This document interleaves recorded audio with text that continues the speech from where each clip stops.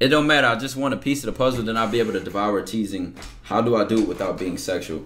You know when I think of teasing without being sexual, I can recognize an opportunity and then leverage it to sexual tension. But then that makes me think like, can I teach somebody how to recognize an opportunity? Because that's the most important part. It's not the script. It's not what to say. It's not how you say it. It's not none of that.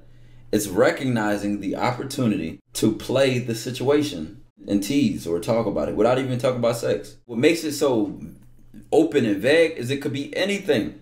It could be anything. Right. Roasting. We could be talking shit. And then she say something like, um, watch your fucking mouth. And I say, and if I don't? That could be like turning into something. She could be telling me names she want to give her kids. And I could be like, I'm not naming my daughter that. What you mean? Uh, well, when we have a daughter, I ain't naming my daughter that. I don't know how to tell you to recognize situations or, or opportunities to, to finesse it into something. I, I don't know how to. But be honest.